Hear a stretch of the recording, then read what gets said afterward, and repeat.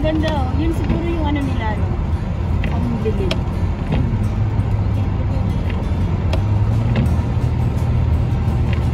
Puting puti.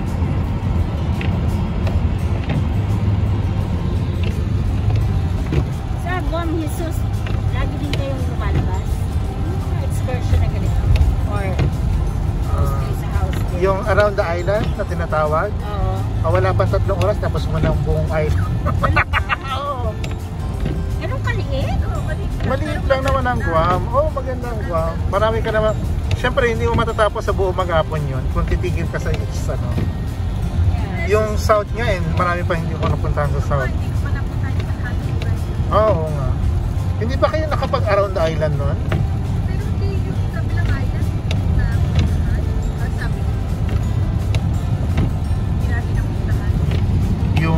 ay oo, yung, Mura lang po mag-rent ka doon ng ano,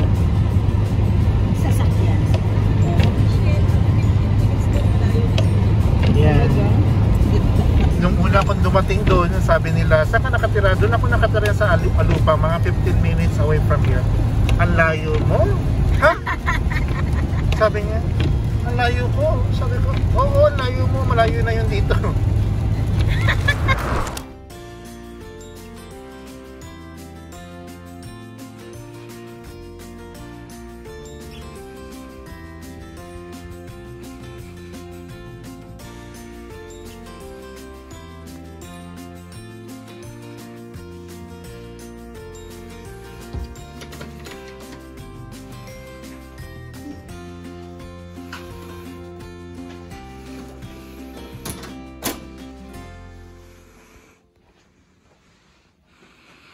Tito Banj! Where's Liliana? Liliana! Papaalsa mo ng beauty.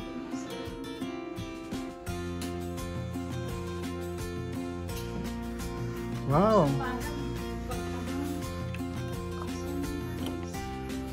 Oh. Hindi nyo makita kasi. Magaling.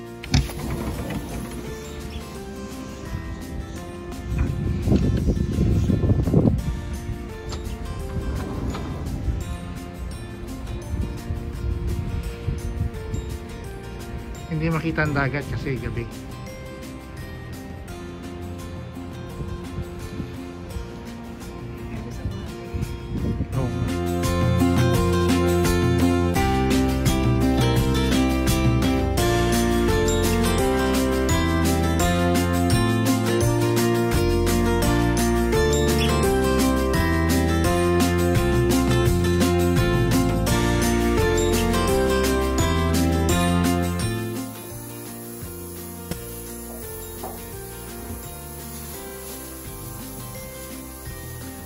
Baka naman lahat na mikrobyo matanggal na.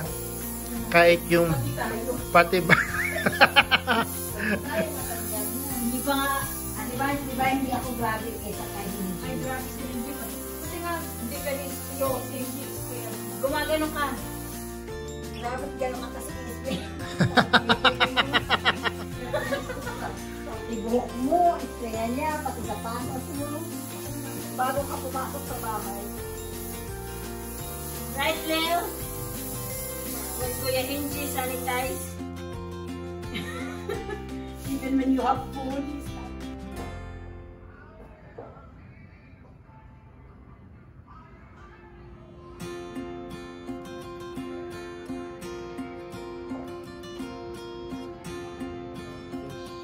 this table this look like um yung recycled table para siyang malaking gulong na nilagyan lang siya ng ano ng kahoy. Diba? It's it's a cold morning here in Maryland. Ayan ang dagat nila. Napakalamig naman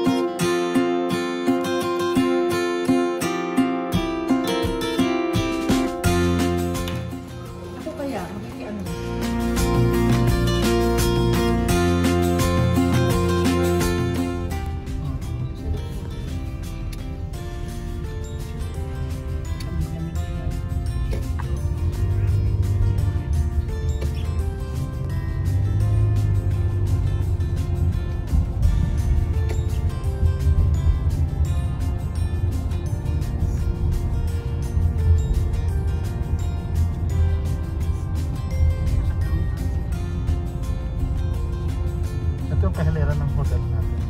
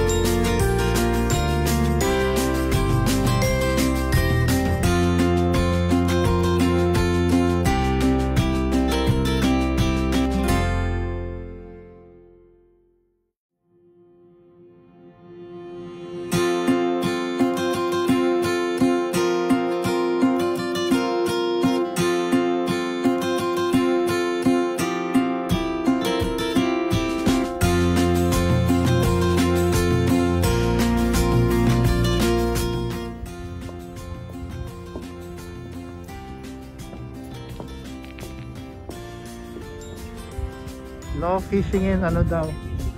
Video to video. Ah, due to COVID-19, we take extra precautionary measures by closing the park. So you can see people where you only And no fishing and crabbing.